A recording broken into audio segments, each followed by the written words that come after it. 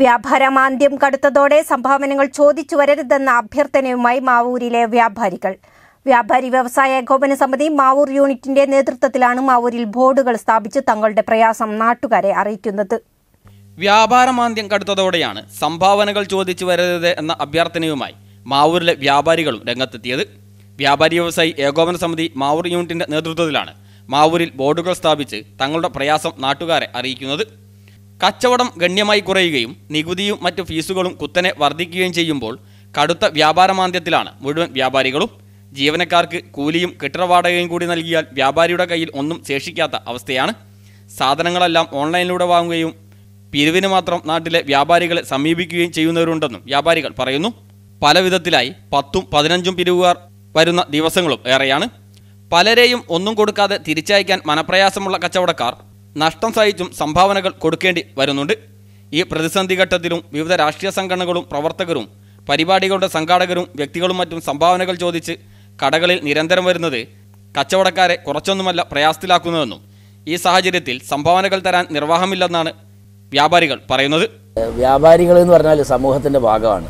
സമൂഹത്തോടൊപ്പമേ അവർക്ക് മുന്നോട്ട് പോകാൻ കഴിയുള്ളൂ. പിരിവ് ഞങ്ങൾ അടച്ചാക്ഷേപിക്കുകയല്ല. അതൊക്കെ വേണം. അതിനൊരു മര്യാദ വിട്ട് വല്ലാതെ പോകുന്നുണ്ട്.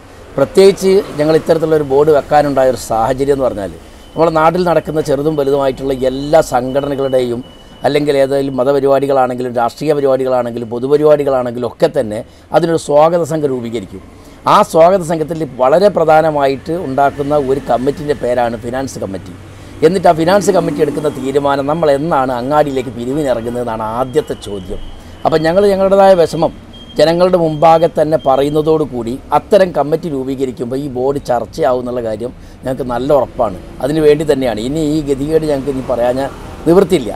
ഇത് മാത്രമല്ല ഇത് കഴിയുന്നതോട് കൂടിയിട്ട് കിഡ്നി പോയതും കരൾ പോയതായിട്ടുള്ള പിരിവ് അതും ഒരുപാട് ഒരുപാട് തരികടകളായിട്ടുള്ള സത്യമില്ലാത്ത ഒരുപാട് പിരിവ്. ഞങ്ങൾക്കത് അന്വേഷിക്കാനും കൂടെ പോകാനും ഇനി കഴിയില്ല. പണ്ടൊക്കെ പോയിരുന്നു. അതിനപ്പുറം വിവിധ സ്ഥാപനങ്ങളുടെ പിരിവ്. നൂറുകൂട്ടം പിരിവുകൾ തീരുന്നില്ല.